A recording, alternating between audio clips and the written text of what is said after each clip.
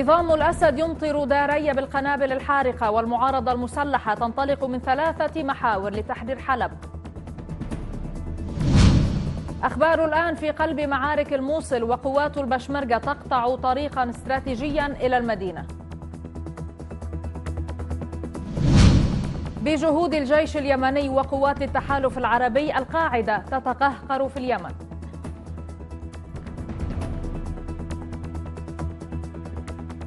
مساء الخير أهلا بكم مشاهدينا إلى برنامجكم استوديو الآن حلقة جديدة أقدمها لكم مباشرة من استديوهاتنا في دبي ولدينا أيضا في استوديو الآن.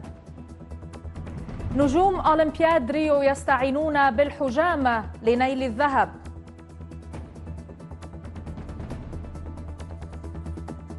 ودبي تضع اللمسات الأخيرة لافتتاح دار الأوبرا.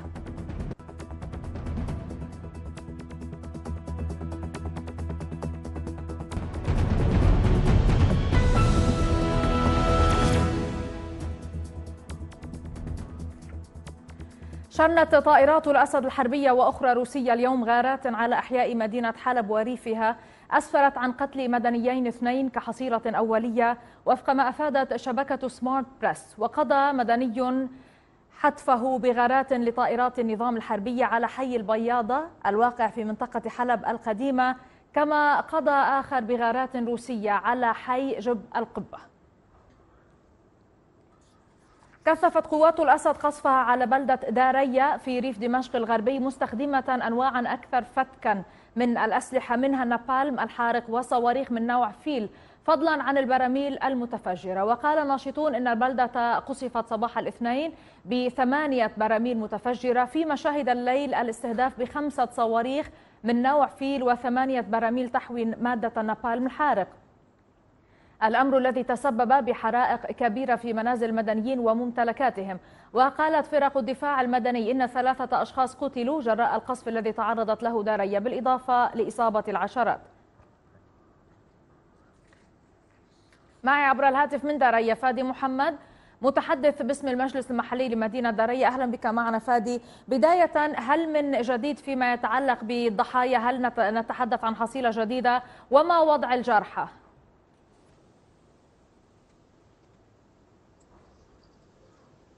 فادي تسمعني؟ ألو؟ أسمعك فادي. نحن على الهواء مباشرة. أي جديد فيما يتعلق بالضحايا؟ نعم إن كان يعني عن القتلى أو الجرحى قامت قوات النظام باستهداف مدينة دارية بالنابالم الحارق وهو الاستهداف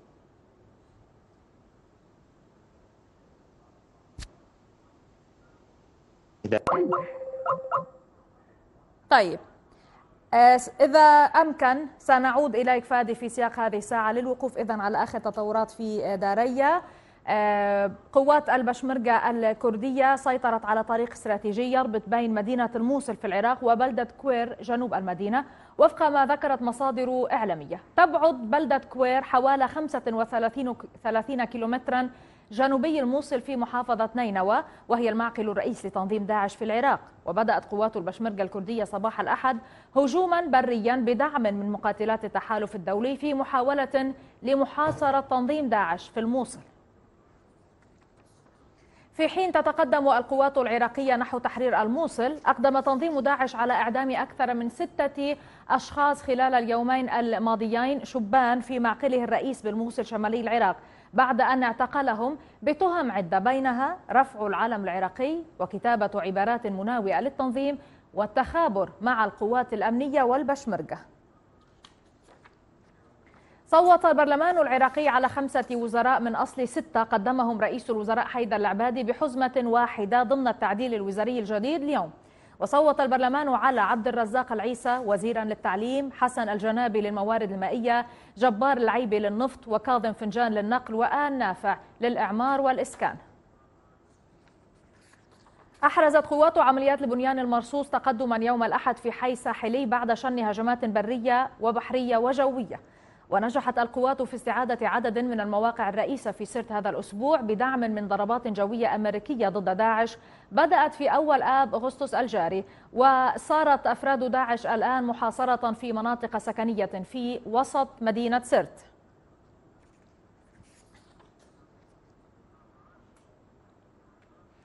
حذرت السلطات الليبية نظيرتها الإيطالية من وجود خلية مرتبطة بتنظيم داعش في ميلانو بحسب ما ذكرت وسائل الإعلام الإيطالية الأحد وكشفت وثائق تمكنت القوات الليبية من الاستحواذ عليها بعد أن سيطرت على مقر كان يستخدمه التنظيم في مدينة سرت كشفت إذن وجود شبكة في ميلانو مرتبطة بداعش. جاءت هذه التقارير مع تزايد المخاوف من أن المقاتلين المقاتلين الذين هربوا من مدينة سرت تمكنوا من عبور البحر المتوسط على متن قوارب المهاجرين مع تزايد القلق مما سمي بالذئاب المنفردة التي يمكن أن تنفذ هجمات على الأراضي الإيطالية. أكد رئيس الوزراء اليمني أحمد عبيد بن دغر أن الدولة ماضية في تحرير العاصمة صنعاء وباقي المناطق من الميليشيات الانقلابية مشيرا إلى أن الأوضاع السياسية والاقتصادية بدأت بالتحسن. وقال بن دغر أن الحرب الهمجية التي شنتها ميليشيات الحوثي والمخلوع الصالح تسببت في ازدياد معاناة المواطنين في الداخل والخارج من خلال سيطرتها على مؤسسات الدولة كما تسببت في انهيار الاقتصاد اليمني. أعلن التحالف العربي في اليمن فتح مطار صنعاء الدولي للرحلات الجوية التابعة للأمم المتحدة والمنظمات الإنسانية الدولية الأخرى بدءا من اليوم بعد تعليقها لحوالي أسبوع. وبين التحالف أنه من أجل سلامة العاملين في المجال الإنساني يجب إشعار التحالف مقدما بتلك الرحلات وسيكون ذلك مشروطا بوضع العمليات العسكرية في حينه. قالت الشرطة الهندية أن متشددين مسلحين هاج متشددين مسلحين هاجما مركزا للشرطة في الجزء الذي تحكمه الهند بإقليم كشمير وذلك في الوقت الذي ألقى فيه رئيس الوزراء الهندي كلمته السنوية بمناسبة عيد الاستقلال ولم يستطع المسلحان السيطرة على مركز الشرطة في مدينة سريناغار ولكن ستة من احتياطي الشرطة أصيبوا في الهجوم. أعلن الرئيس الأمريكي باراك أوباما ولاية لويزيانا التي اجتاحتها الفيضانات منطقة كوارث يوم الأحد حيث قتل ما لا يقل عن خمسة أشخاص وأنقذت فرق الإنقاذ أكثر من سبعة آلاف شخص تقطعت بهم السبل جراء سيول جارفة. ومن المتوقع تعرض تلك المنطقة التي غمرتها المياه لمزيد من الأمطار بسبب عاصفة ممتدة من ساحل الخليج إلى وادي أوهايو. عنصر من الدفاع المدني في حلب عايش ألم الحصار مرتين. القصة الكاملة بعد الفاصل.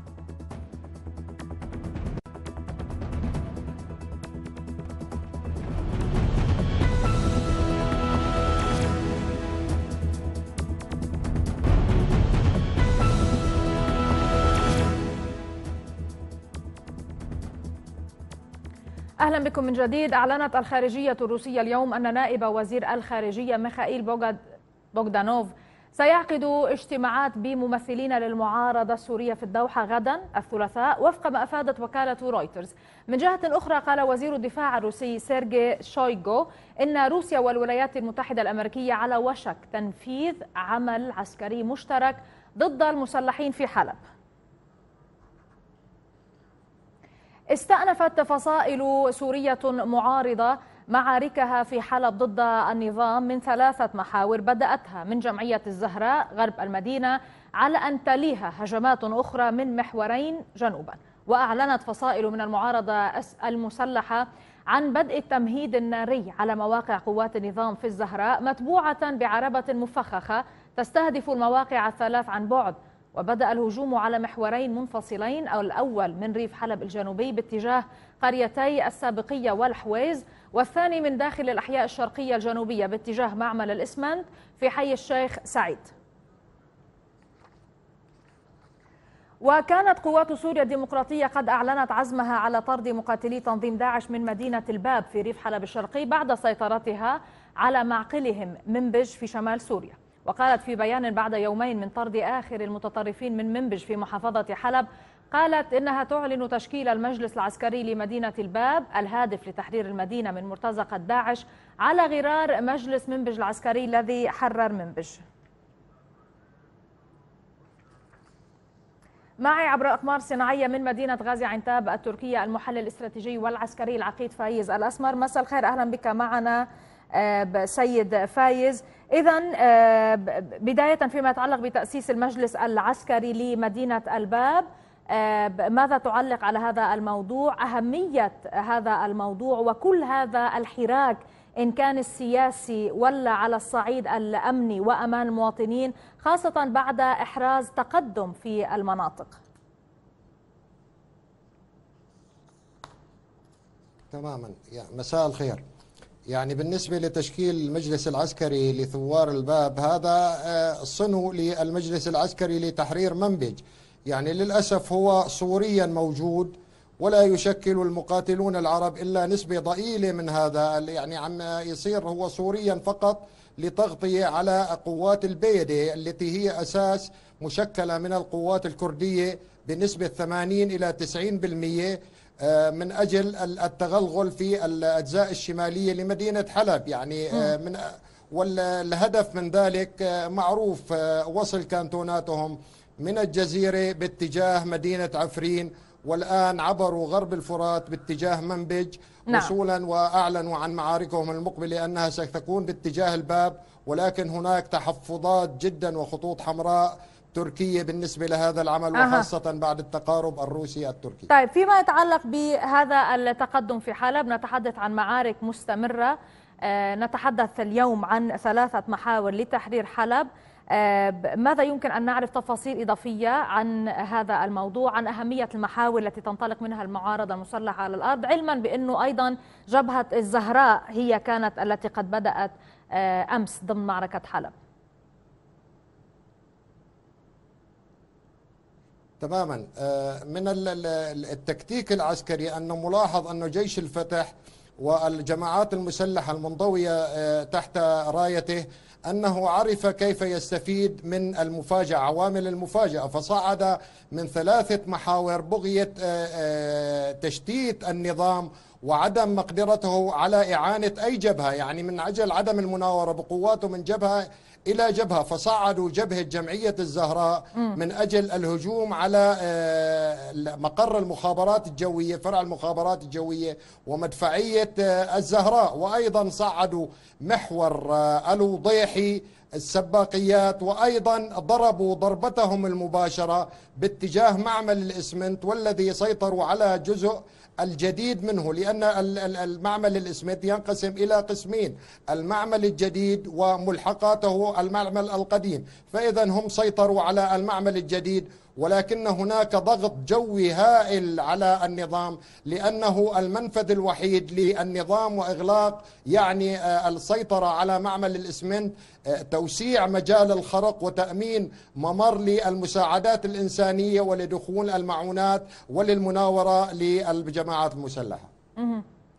ماذا يبقى للقوات الأسد وكل الميليشيات وحلفاء؟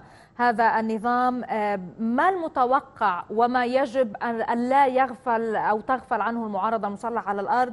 خاصة أن نتحدث اليوم أيضا عن آه، إدلب بشمال سوريا. نتحدث عن آه، انتحاري طبعا تفجير انتحاري ونتحدث عن مقتل وإصابة العشرات. هل ممكن أن يستخدم النظام في هذه الفترة بضمن المعارك خلال المعارك المشتدة في حلب جبهات أخرى مفاجئة ربما لا تتحضر لها المعارضة المسلحة أم ماذا؟ ممكن ممكن جدا. يعني المشكلة الحرب خدعة. يعني أحيانا يناور النظام على جبهة معينة ويشغل الثوار أو العكس هو صحيح. ويوجهون ضربة مباشرة أو آه، اتجاه هجوم يكون مباشر باتجاه جبهة معينة. يعني لاحظنا إحنا آه، جبهة جمعية الزهراء الآن يركز عليها الثوار لأهميتها لأنها في حال وصول الثوار والجماعات المسلحة واستيلائهم على حي الزهراء يعني وصلوا إلى المحلق الجنوبي الذي يقطع الطريق ناريا باتجاه طريق الكاستيلو. إذا يسيطرون على آه، طريق الكاستيلو ناريا في حال استيلائهم على آه، حي الزهراء وبذلك تنقطع كل خطوط الإمداد للنظام. إذا معركة حي الزهراء هي ستكون فاصلة والنظام لن يتخلى عن تلك المنطقة بسهولة لأنها تؤدي إلى قطع شرياناته كلها باتجاه مدينة حلب لأنه لاحظنا بالمعارك السابقة قطع إمداد النظام من منطقة الراموسة نعم. وأصبح إمداده بعيد جدا هو عن طريق صحيح. الشيخ نجار وصولا إلى حندرات وصولا إلى طريق الكاسيلو ما حظوظ حي الزهراء هو أقرب حي إلى طريق وهذا ما يعول نعم. لطريق الكاستيلو وهذا ما يعول عليه تعول عليه المعارضة المسلحة. ما حظوظ نعم. يعني آه، عسكريا على الأرض من خلال كل تطورات اليومين الماضيين ما حظوظ المعارضة المسلحة أن آه، تسيطر على حي تستعيد حي الزهراء وبالتالي أن آه، تصل لطريق الكاستيلو. ما سيقطع طريق الامداد عن النظام؟ تماما. يعني لاحظنا في كل المعارك عدم مقدرة النظام على المواجهة البرية يعني حالما يتوجه الثوار أو الجماعات المسلحة بمفخخاتهم نرى انسحابات للنظام والميليشيات المساندة له باتجاه الخلف يعني يتركوا مواقعهم ويتراجعوا. والنظام يعتمد على ال- الهجمات الجوية والطيران الروسي. يعني السيطرة والجهد الجوي الكبير يمنع الثوار فقط عن آه، والجماعات المسلحة من متابعة تقدمهم باتجاه تلك الأماكن. إذا في ظل غياب جزئي للجهد الجوي يستطيع الجماعات المسلحة الوصول إلى مبتغاهم في طريق أها. الكاستيلو. طيب بأي إطار اليوم مع كل هذا الحراك الميداني والتطورات على الأرض آه، تضع التصريحات الروسية اليوم بأنه سيكون هناك عمل مشترك بينها وبين واشنطن؟ لا أتصور هذا الأمر لأن الأهداف آه، متخالفة يعني. الروس يعتبرون كل من حمل السلاح هو من الجماعات الإرهابية. ودخلوا على أساس مساندة النظام.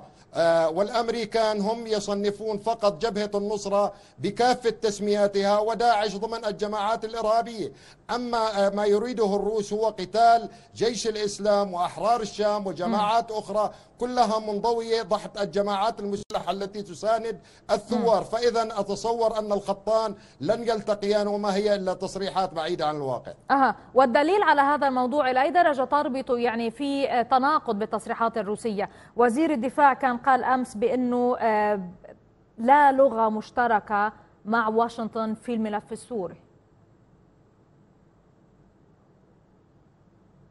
تماما. دائما يعني يصرح الروس ويخرج عليهم الأمريكان ويقولوا أن هذا غير صحيح. يعني في الوجه دائما خلال 24 ساعة يرد عليهم الأمريكان ويقولوا أن لا تنسيق هناك بيننا وبين الروس وخاصة فيما يشمل الجماعات التي يصنفونها بالجماعات ال- ال- الإرهابية. وأيضا لاحظنا هناك أن يعني ديدن روسيا في أي تقارب مع أي إنسان ضمن الملفات لاحظناه حتى في التقارب الروسي ال ال ال نعم. التركي. طلبوا من الأتراك أن اعطائهم إحداثيات الجماعات المسلحة. فإذا ديدن الروس دائما آه، ضرب كافة الجماعات التي تحارب حقيقة نظام بشار الأسد. يعني هناك علامات استفهام كثيرة على هذا الحديث. شكرا لك من آه، غازي عينتاب. سيد فايز الأسمر سيادة العقيد المحلل الاستراتيجي والعسكري. شكرا. شحود حسين أحد أفراد الدفاع المدني السوري عانى الحصار مرتين في حلب. المرة الأولى كانت في مدينة عزاز بعد أن أطبق تنظيم داعش الحصار عليها. والثانية كانت بحصار قوات نظام الأحياء الشرقية لمدينة حلب بقطعها طريق الكاستيلو والذي دام شهرا كاملا. نتابع قصته.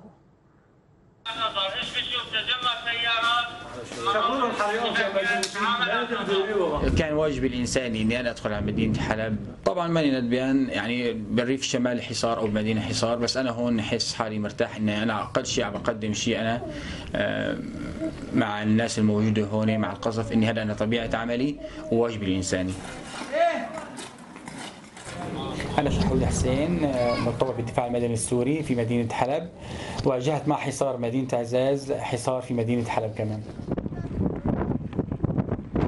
هلا أنا كنت هون في مدينة حلب طلعت الزيارة على الريف الشمالي أهلي موجودين هنيك. بفترة وجودي أنا بالريف الشمالي تحاصرت مدينة عزاز. ضليت فترة طويلة هنيك بفترة الحصار بالمعاناة بالمخيمات. آه، بعد فترات طلعت على الحدود التركية ورجعت على طرف الريف الغربي ودخلت على حلب. الحصار صراحة بالنسبة لمدينة حلب هون اسمه حصار يعني شو ما حكينا اسمه حصار؟ يعني هي منطقة سكنية يعني ما هي منطقة زراعية مثلا بتختلف عن الريف الشمالي الريف الشمالي فيه أراضي زراعية آه له بوابة مع تركيا. هون الوضع في مدينة حلب مثلا مبلغ الخضر المواد الغذائية الأساسية مثلا بتنفقد آه البترول هو اللي بشغل مثلا مثل حركة الكهرباء حركة المي. بالنسبة لي صراحة واجهت كثير صعوبات بالنسبة لتأمين المواد الغذائية إلي ولعائلتي يعني بس الحمد لله رب العالمين دبرنا أمورنا.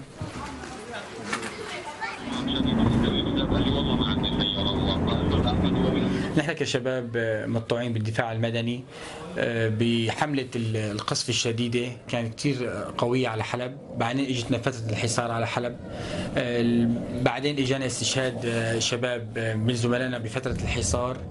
يعني صراحة هذا كثير كان ضغط كبير علينا وتعب بالنسبة لنا إني ما عاد نحسن يعني عندنا قدرة نكمل يعني.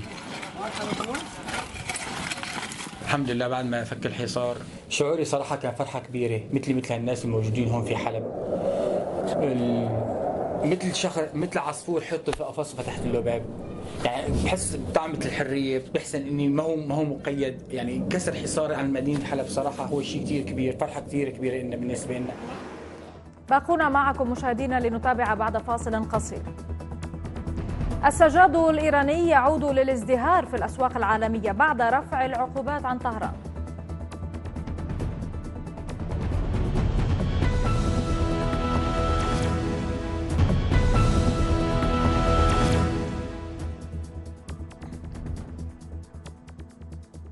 أحييكم من جديد شرع تنظيم داعش في الموصل بحفر شقوق حول القرى جنوبي المدينة. ونشر العديد من السيارات المفخخة على أطرافها بحسب ما أفادت مصادر خاصة لأخبار الآن من داخل المدينة. المصادر ذاتها أوضحت لأخبار الآن دون كشف هويتها أوضحت خشية ملاحقتها من قبل مسلحي داعش.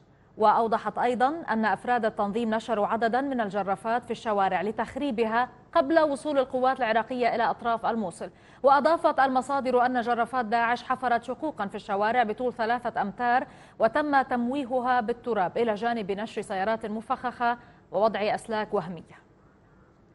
اليوم بدأت صفحة أخرى من تحرير قرى سهل نينوى الواقعة إلى الشرق من مدينة الموصل. قوات البشمركة بدأت بمحورين. اليوم محور قرقشة وكذلك محور قرية أبزغ التي نحن الآن على مشارف هذه القرية التي تدور فيها حاليا معارك لتحريرها. الساعة الخامسة صباحا بدأنا بالهجوم على دواعش على الدواعش وحررنا قرية قرقشة وقرية قريطاع وقرية أبزغ وقرية حمراء وهسه مستمرين مستمرين لتحرير القرى الباقية إلى إلى جسر قوير الطريق الرئيسي بين الموصل وبين القوير كما تلاحظون المعارك لا زالت مستمرة في قرية قرقشة وكذلك قرية قريطاغ المتاخمة لمركز قضاء الحمدانية شرق الموصل. هذه أعمدة الدخان المتصاعدة من القريتين ولا زالت المعارك فيها مستمرة بانتظار تحريرها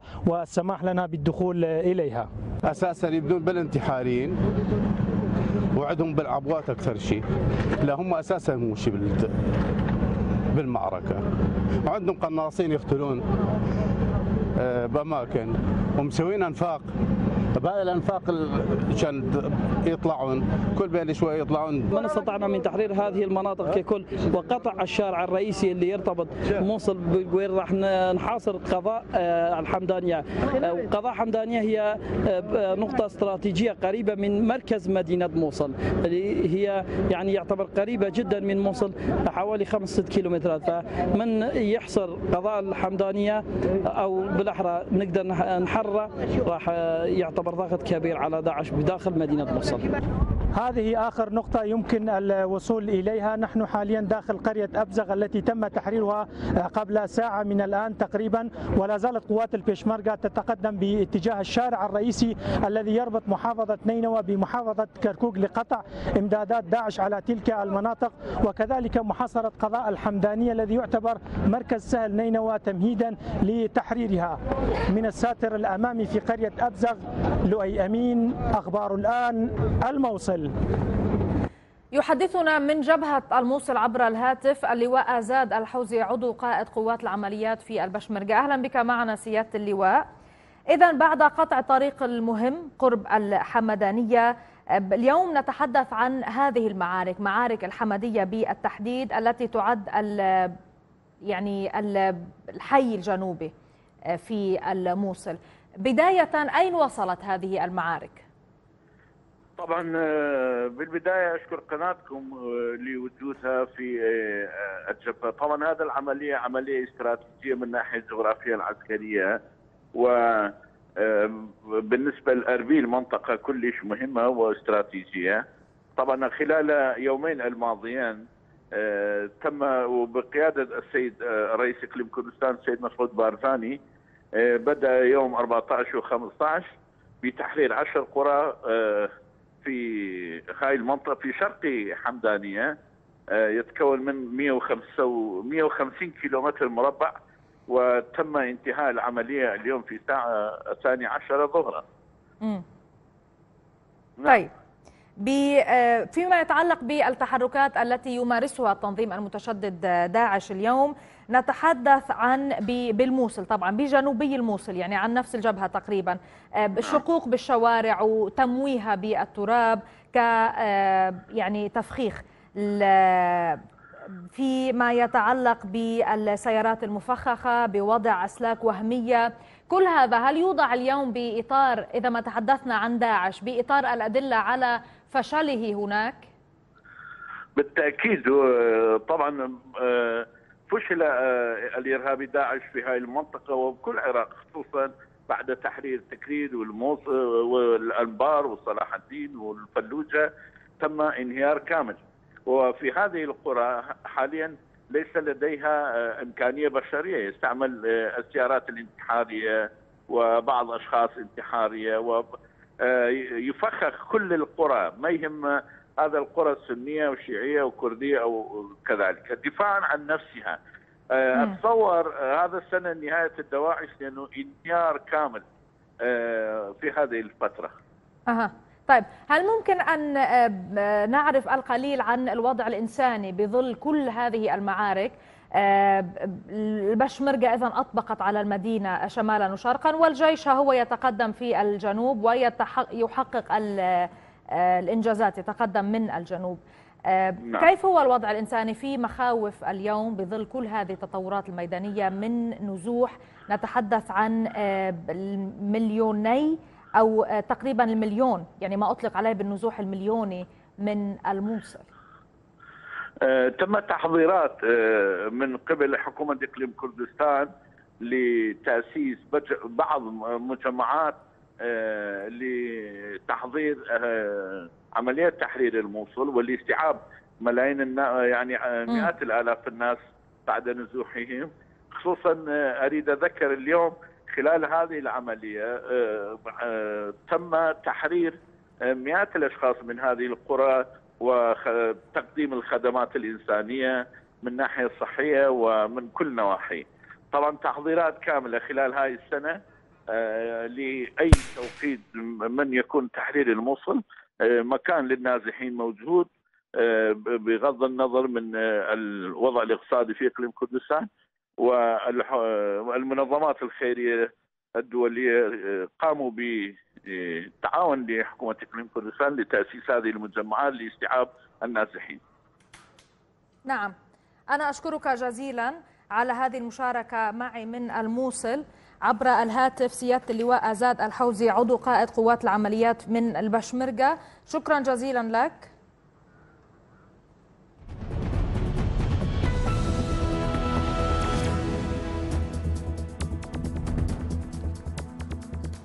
أحبطت إدارة أمن عدن عملية تفجير سيارة مفخخة في حي المنصورة وألقت القبض على الخلية المسؤولة عن العملية المكونة من ثلاثة أشخاص يترأسهم القيادي في تنظيم القاعدة الشهير بعبودي يأتي ذلك بينما تقوم قوات التحالف والجيش اليمني بعملية ضد القاعدة في اليمن. انتهت مؤخرا باستعادة زنجبار وجعار وعزان. لم ينتهي سيناريو سيارة المفخخة هذه كما المعتاد في استهداف المسؤولين العسكريين والمدنيين في عدن لكنها كانت دليل نحو القبض على أخطر قيادي القاعدة في المدينة وقد قبض عليه بالقرب من مصنع المشروبات الغازية في حي المنصورة قبيل تنفيذ عملية التفجير. أما في إبين فقد نشر الجيش اليمني قواته في مدينتي زنجبار وجعار بعد طرد مسلحي القاعدة منهما ليواصل الزحف شرقا نحو مدينة شقراء حيث تتمركز مجاميع من أنصار الشريعة التابعة للقاعدة. سبق ذلك انسحاب أفراد تنظيم القاعدة من مدينة عزان في محافظة شبوة في جنوب اليمن بعد غارات نفذتها طائرات التحالف العربي بقيادة السعودية وأوضح المصدر وسكان المنطقة أن أفراد التنظيم بدأوا عند منتصف ليل الاثنين الماضي بالانسحاب بمركباتهم وآلياتهم العسكرية باتجاه مناطق تقع إلى الشمال من المدينة. ويحظى التنظيم بانتشار كبير في شبوة لا سيما في مدن كالحوطة والصعيد فضلا عن بعض المناطق الجبلية. وكانت القوات الحكومية تمكنت في إبريل نيسان الماضي بدعم من قوات التحالف من استعادة مدينة المكلا ومناطق أخرى في ساحل حضرموت بعد أن بقيت تحت احتلال تنظيم القاعدة لزهاء عام. معي من اسطنبول الخبير اليمني في القاعدة والجماعات المتشددة نبيل البكيري. مساء الخير أهلا بك معنا سيد نبيل. آه، قراءتك بداية بتاريخ الجماعات المتشددة هذا آه، عن آه، بعد هذه الخسائر وطرد القاعدة من عدة مناطق مهمة تعتبر في اليمن ما المتوقع فيما يتعلق بأي ردات فعل انتقامية وكيف يجب أن تحصن نفسها القوات اليمنية الشرعية في كل هذه المناطق؟ اولا حقيقة آه، لا نستطيع نقول أن الذي حصل بالأمس في ابين يعد انتصار نهائي على هذه الجماعات الإرهابية بالنظر إلى أن الذي حصل هو عبارة عن انسحاب والانسحاب دائما هو تكتيك تستخدمه الجماعات الإرهابية لمعاودة الهجوم وإعادة تموضعها مرة أخرى وبالتالي ليس من آه، من المنطق أن نتحدث أن هناك شيء ممكن آه، أن نتوقعه ان لا يكون هناك ردة فعل؟ بالتأكيد نحن أمام آه، لأنه انسحاب تكتيكي كما قلت. نعم لا شك هو انسحاب تكتيكي بكل ما تعال الكلمة معناه لكن بالمقابل يجب أن لا يظل أن لا يظل رهاننا على التعاطي العسكري الأمني المجرد مع هذه الجماعات. يجب أن يكون هناك استراتيجية وطنية شاملة هذه الاستراتيجية ترتكز على أبعاد مختلفة منها الأمني والعسكري والتنموي والاجتماعي والثقافي. أه. غير ذلك أنا باعتقادي أنه ستظل هذه الجماعات تمثل آآ آه، آآ آه، يعني فخا أمام كل تحولات السياسة والمجتمع في الحال اليمنيه. نعم. بعد هذا التقهقر للقاعدة في اليمن سيد نبيل إلى أي درجة حتى تقهقر على الأرض يعني وتراجع عسكري واضح. إلى أي درجة هناك أيضا تراجع في معنويات هذه الجماعة أو تراجع متوقع أيضا أكبر من ذي قبل خاصة مع كل ما يحدث بالإضافة إلى التقدم الميداني لقوات شرعية. نتحدث اليوم عن فتح التحالف لمطار صنعاء أمام رحلات المنظمات الإنسانية وهو مهم جدا. تركيز قوات التحالف على الوضع الإنساني. نتحدث عن قيام خادم الحرمين الشريفين بمكافأة كل المشاركين بإعادة الأمل وعاصفة الحزم. كل هذا طبعا لولا التقدم على جميع الصعد لا آه، يحدث هذا. كل هذا كيف يؤثر بالقاعدة هناك وأدائها؟ لا شك إنه كل المعطيات العسكرية والميدانية لا شك إنها ليست في صالح هذه الجماعات. لكن آه، آه، حقيقة آه، نحن حينما نتعاطى مع ملف هذه الجماعات على أساس أنها ممكن أن تنهزم من خلال انسحابها أو من خلال حروب هنا أو هناك حروب خاطفة وسريعة أنا باعتقادي أننا لم ندرك حقيقة وخطورة هذه الجماعات. هذه الجماعات بحاجة إلى استراتيجية كاملة تقوم في أولى أولويات هذه الاستراتيجية استعادة الدولة والنظام والقانون في اليمن. نحن أمام فراغ أمني وسياسي كبير، هذا الفراغ الأمني والسياسي هو الذي يساعد هذه الجماعات. صحيح. كان ارضا خصبه لها. نعم. م. طيب. آه، فيما يتعلق بالغارات التي آه، تمت اليوم بالشمال آه، مستشفى شمال اليمن وتحدثنا عن سقوط ضحايا تحدثت كل المصادر. هل ممكن أن نعرف المزيد بداية إذا كانت هناك آه، أي معلومات وماذا يعني استخدام هذه الاستراتيجية وهذا الاستهداف؟ خاصة نتحدث عن مستشفى مكان إنساني جدا مع أنه ليست الأولى من نوعها فقدنا الاتصال. على أي حال أنا أشكرك جزيلا سيد نبيل البكيري الخبير في اليمني في القاعدة والجماعات المتشددة على هذه المشاركة معنا من إسطنبول. في وقت تحاول تحاول فيه الإدارة الإيرانية البناء على ما أنجزته من خطوات في موضوع الاتفاق النووي عبر توطيد أواصر الثقة مع دول العالم تتصاعد حدة التصريحات المنتقدة للتدخل الإيراني السافر في المنطقة والذي يرى فيه مراقبون تهديدا حقيقيا لمنجزات الاتفاق النووي. كاميرا أخبار الآن استطلعت آراء بعض المواطنين حول الخسارة الناتجة عن استمرار إيران بتدخلها بشؤون المنطقة وتأثير ذلك إذا ما عدلت إيران عن سياسة التدخل تلك. هزینه هایی که تو کشور سوریه داره انجام میشه اگر هزینه ها داخل کشور خودمون انجام بشه لو أن المبالغ التي ينفقها المتطرفون في سوريا تنفق في إيران فلا شك أنها ستؤثر إيجابيا على الوضع المعيشي للشعب وبطالة الشباب. فالبلد في وضع يحتاج معه إلى هذه النفقات على الصعيد الداخلي. أما بالنسبة للبرنامج الشامل للمبادرة المشتركة والمبالغ التي يتم إنفاقها فهي تجعل العالم ينظر إلينا نظرة سلبية. ولو أننا نتدخل بشكل أقل في سوريا فلا شك أن علاقاتنا مع العالم سوف تتحسن.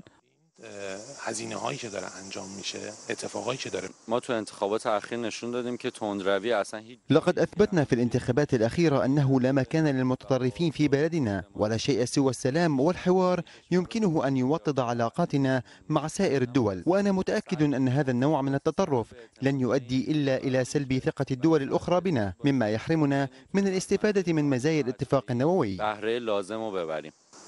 دخالت تندرو بیرون از کشور.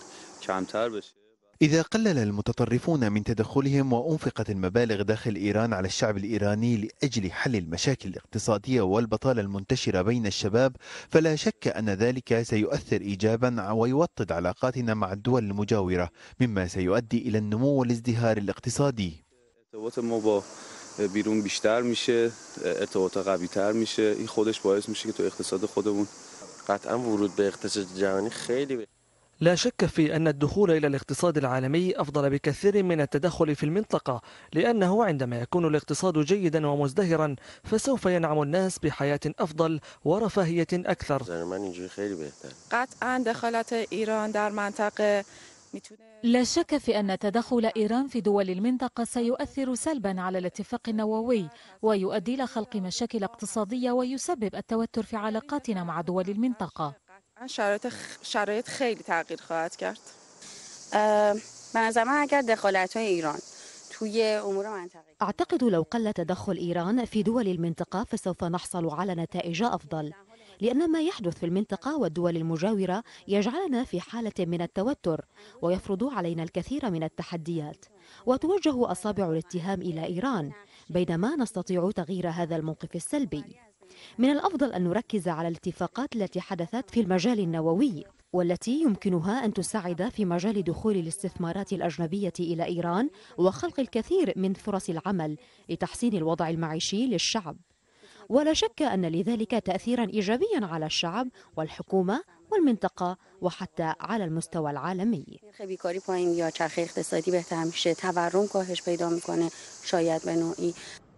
يعد السجاد الإيراني أهم وأعرق المنتجات الإيرانية التي ذاع صيتها في مشارق الأرض ومغاربها. وبعد الاتفاق النووي ورفع العقوبات عادت من جديد صادرات إيران للارتفاع. في لقاء حصري مع تلفزيون الآن أكد حميد كاركر رئيس مركز السجاد الإيراني أن احتفاظ السجاد الإيراني على مكانته العالمية يتيح المجال لجذب المستثمرين العرب. یکی از اتفاقات خوبی که در برجام افتاد اشاره صریح به لغو تحریم فرش ایرانی بود. من الأشياء الجيدة التي حدثت بعد تنفيذ البرنامج الشامل للمبادرة المشتركة إلغاء العقوبات المفروضة على السجاد الإيراني بشكل صريح. از سال 2010 و با مصوبه کنگره که به تایید ریاست جمهور آمریکا رسید و به بعضی از کشورهای دیگه اروپایی عربی و آسیایی هم به دلیل مشکلات ناشی از تحریم های عمومی اقتصادی کشور تا حدی کاهش داشتیم. كانت صادراتنا إلى الولايات المتحدة الأمريكية قد وصلت إلى الصفر كما كانت الصادرات قد تراجعت بشكل كبير إلى بعض الدول العربية والأوروبية والأسيوية بسبب المشاكل الناجمة عن العقوبات الاقتصادية العامة في إيران. كانت صادرات السجاد الإيراني تصل إلى 500 مليون دولار في السنة خلال العقود الأخيرة ولكن نظرا لأسباب لا تتمثل في العقوبات لوحدها بل بمجموعة من العوامل التي تعتبر العقوبات عاملا منها فقد تراجع هذا الرقم إلى 300 مليون دولار في السنة وكانت الصادرات إلى الولايات المتحدة الأمريكية قد بلغت الصفر ولم نصدر أي شيء إليها. والحمد لله فإن هذه العملية قيد التغيير فقد قفزت الصادرات من الصفر إلى 30 مليون دولار في الفترة الأخيرة. وبموجب الإحصاءات الصادرة عن الجمارك الإيرانية فقد تم تصدير أكثر من 82 مليون دولار ما يعادل 1400 طن من السجاد. وهذا ما يشير إلى نمو يعادل 40% مقارنة بالأشهر الأربعة الأولى من السنة الماضية من حيث الوزن والسعر. با وجود افت صادرات ایران همچنین در بازار جهانی فرش دستباف رتبه یک رو داره. 10 درصد افزایش رو نشون میده. بازار جهانی این کشش رو داره که در واقع تا یک میلیارد دلار هم صادرات فرش داشته باشیم. نکته اینجاست که الان ويمكن للسوق العالمي أن يتحمل تصدير السجاد من إيران بما يعادل مليار دولار. والملفت للنظر هنا أنه ورغم تراجع صادرات السجاد الإيراني لكنه لا يزال يحتل المرتبة الأولى على مستوى العالم ورغم التراجع الذي شهدناه في المرحلة الماضية فإن دولا من الهند وباكستان ونيبال وتركيا وأفغانستان والتي تعتبر منافسة لنا في تصنيع السجاد اليدوي فهي لا تزال بعدنا في الترتيب العالمي لتجارة السجاد اليدوي. دنیا به مقصد کشورهای عربی همیشه صادر شده. طالما يتم تصدير نوع خاص من السجاد اليدوي الإيراني إلى الدول العربية وهو من أكبر السجاد مساحة على مستوى العالم مثل السجادة التي تبلغ مساحتها 2500 متر مربع التي صدرت إلى سلطنة عمان. والسجادة التي تبلغ مساحتها 6500 متر مربع والتي صدرت إلى أبو ظبي إضافة إلى أنواع أخرى للقصور والمساجد والأماكن المعروفة في الدول العربية الخليجية وجميعها من السجاد الإيراني واليدوي الذي لا يزال الإقبال عليه كبيرا حيث وصلتنا طلبية من دولة الجزائر لتصنيع سجادة بمساحة كبيرة حيث تنحصر صناعة السجاد اليدوي للمساحات الكبيرة بإيران والدول العربية تقوم بشراء هذا النوع منه. بخشی از این بازار هدف صادراتی ما رو متأثر کرد و نکته اینجاست که بعضی از ناآرامی های سیاسی که تو چند سال اخیر توی بعضی از کشورهای عربی رخ إن بعض الاضطرابات السياسية التي شهدتها بعض الدول العربية في السنوات الأخيرة أثرت على جزء من صادرات السجاد الإيراني وأدت إلى تراجعها ونتمنى أن تتحسن الظروف السياسية في الدول العربية لكي نشهد ارتفاع مستوى الصادرات مجددا ورغبة السوق العالمية بالسجاد الإيراني. در واقع سرمایه گذاری در این حوزه برای ایجاد مجتمعی که همه فرایندهای تولید فرش دستباف در اون به انجام برسه. در واقع سرمایه گذاری در این حوزه إن الاستثمار في مجال السجاد اليدوي من قبل المستثمرين العرب لإحداث مجمع تجاري فيه جميع مراحل صناعة السجاد اليدوي يكون قادرا على استقبال الطلبيات من الزبائن الكبار على مستوى العالم. هو من الأمور التي أنصح بها وأؤكد عليها بقوة. إن أي استثمار خارجي في مجال صناعة السجاد اليدوي الإيراني سوف يكون مريحا للغاية لأن القيمة المضافة في مجال صناعة السجاد كبيرة جدا.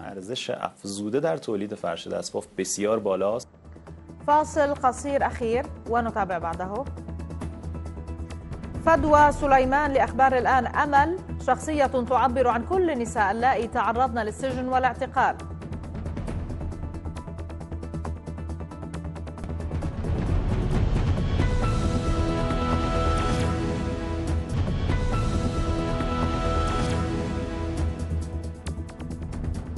أحييكم من جديد. أحدث مايكل فيلبس الفارقة بوجوده مع الفريق الأمريكي للسباحة بعد فوزه بالميدالية الذهبية الثالثة والعشرين له في مشواره الأولمبي. وما ميز ظهور فيلبس هذه الدورة؟ آثار العلاج بالحجامة التي ظهرت عليه. وذكرت صحيفة الديلي ميل البريطانية أن عددا من الفرق الأولمبية المشاركة في أولمبياد ريو 2016 استعانت بطريقة الحجامة التي تصنف ضمن طرق الطب البديل. التقرير التالي والتفاصيل. في الوقت الذي واصل فيه السباح الأمريكي مايكل فيليبس تحقيق أرقامه القياسية في أولمبياد ريو قام بدعاية واسعة للحجامة الصينية فقد تحولت الدوائر البنفسجية على جسمه إلى رموز غامضة وقامت بدورها وكالة رويترز بإعداد برنامج خاص يشرح هذه الآثار الغامضة. البرنامج ذكر بأن الحجامة تمكن من إزالة الجراثيم وتعزيز الدورة الدموية وتخفيف الألم وبإمكانها معالجة حتى العمى.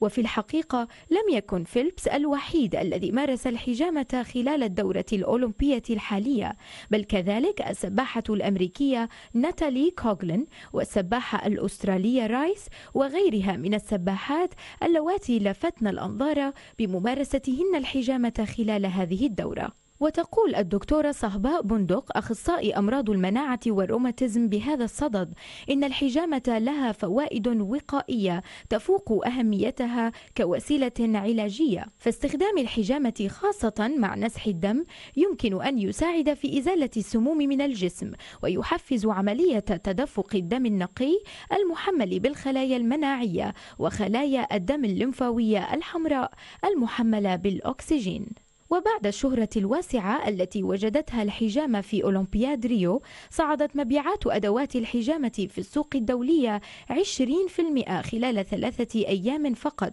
كما ارتفعت طلبات الحصول على تراخيص ممارسة الحجامة بالنصف. من المزمع أن تفتتح إمارة دبي نهاية الشهر الجاري دار الأوبرا التي تشكل رهانها على حجز مكان لها على الخريطة العالمية الثقافية والموسيقية. وتطوير مجال لم ينل الاهتمام الكافي في مدينة عرفت نموا هائلا خلال العقود الماضية.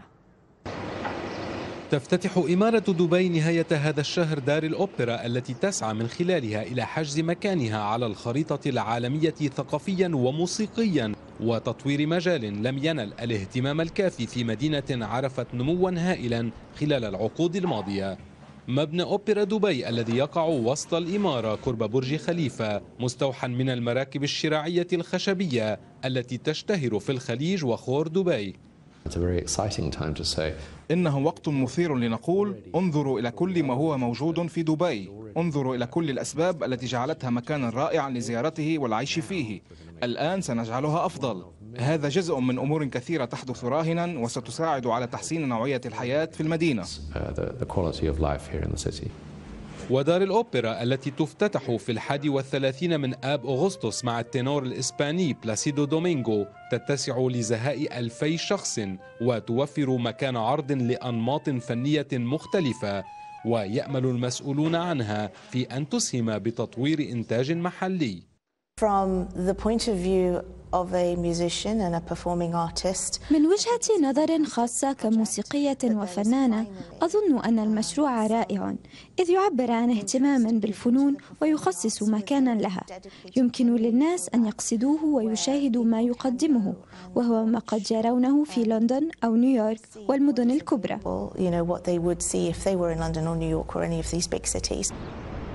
وتشهد دبي تنفيذ المزيد من المشاريع الترفيهية والفنادق لجذب أعداد إضافية من السياح.